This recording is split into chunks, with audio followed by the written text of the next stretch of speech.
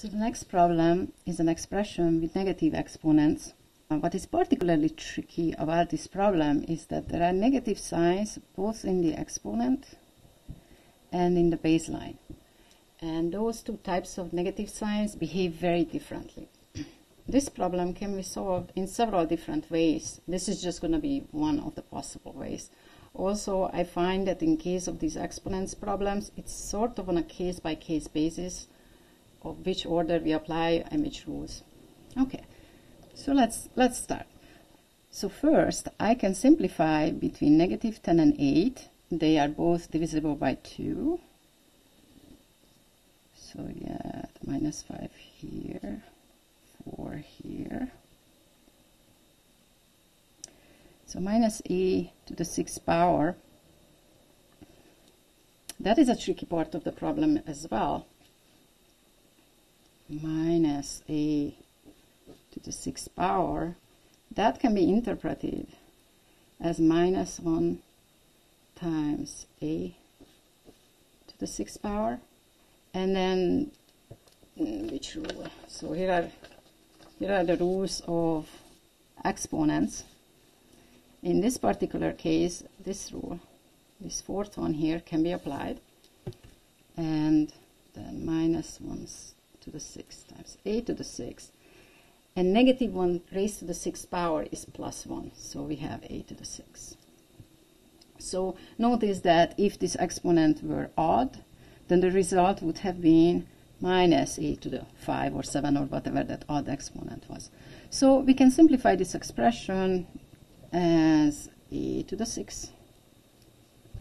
Now with this one, we're going to apply the third rule, which is about repeated exponentiation. Then we can multiply the, the, the exponents. So we're going to have b to the negative 3. So we're done with the numerator. e to the minus 3. Well, one way to handle it is we can rewrite it as a to the positive 3 in the numerator but I'm also seeing this a to the 8 here, so I'm just going to combine these two using the very first rule.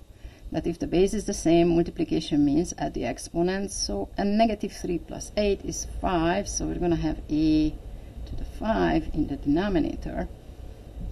And then we have negative b to the 7th power and to the negative 4th power. Again, the base is the same, so we can just rewrite it as negative b to the 7 plus negative 4 third power. Okay. So in the next line, I'm just gonna, we're just gonna get rid of this parenthesis. We're gonna simplify. We're not touching the rest. So we're just gonna carry those parts. Well, actually, now that we see between a to the 6 and a to the 5, that's an easy cancellation. There is just one a left in the numerator. And now b to the minus 3 here, and this minus b can be interpreted as negative 1 times b. And then when we do the exponentiation factor by factor via rule number 4, then we'll find that this one is going to stay negative because minus 1, negative 1 to the third power is negative 1 one more thing, we should, we should probably use the parentheses because sometimes I see my students read this as subtraction. It's not, it's just one big chain of multiplication and division. All right, we're almost done. We could ask, are we done? We're not done yet because the letter B appears twice. That, that can be simplified. So let's take care of that.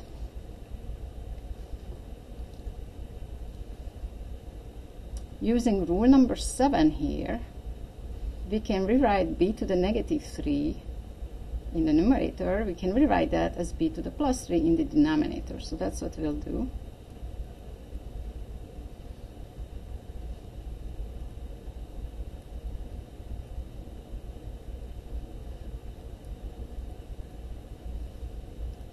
Uh, the next thing I will do is to get rid of the parentheses as well, we're going to have negative 4 b cubed times b cubed, that's b to the 6 in the denominator, and minus 5a in the numerator.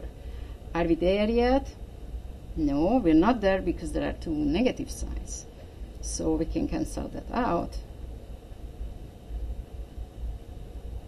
And now if you look, the numbers are simplified, the signs are simplified, and it's just one time the variable a and one time the variable b.